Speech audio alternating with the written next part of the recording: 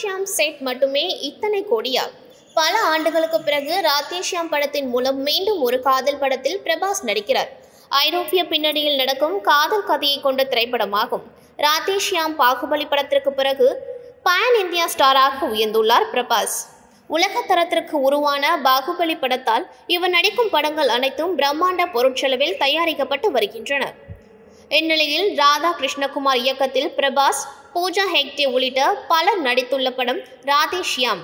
ஐந்து மொழிகளில் UV creations தயாரிப்பில் மிக பிரம்மாண்டமாக உருவாகியுள்ள இத்திரைப்படம் தமிழ் தெலுங்கு மலையாளம் கன்னடம் ஹிந்தி என ஐந்து மொழிகளில் வெளியாக உள்ளது. இப்படத்திலிருந்து சமீபத்தில் இதயத்தை தொடும் பாடல் ஒன்று வெளியானது. இந்த பாடலை ஜஸ்டின் பிரபாகரன் இசையில் தமிழ் மற்றும் தெலுங்கில் யுவன் சங்கர் ராஜா பாடியிருந்தார். வருகிற மார்ச் பதினொன்றாம் தேதி திரையரங்கில் வெளியாகும் என அறிவிக்கப்பட்டுள்ளது.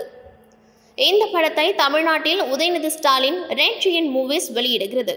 கிட்டத்தட்ட நானூறு தியேட்டர்களில் ராதேஷ்யாம் வெளியாகும் என தெரிகிறது.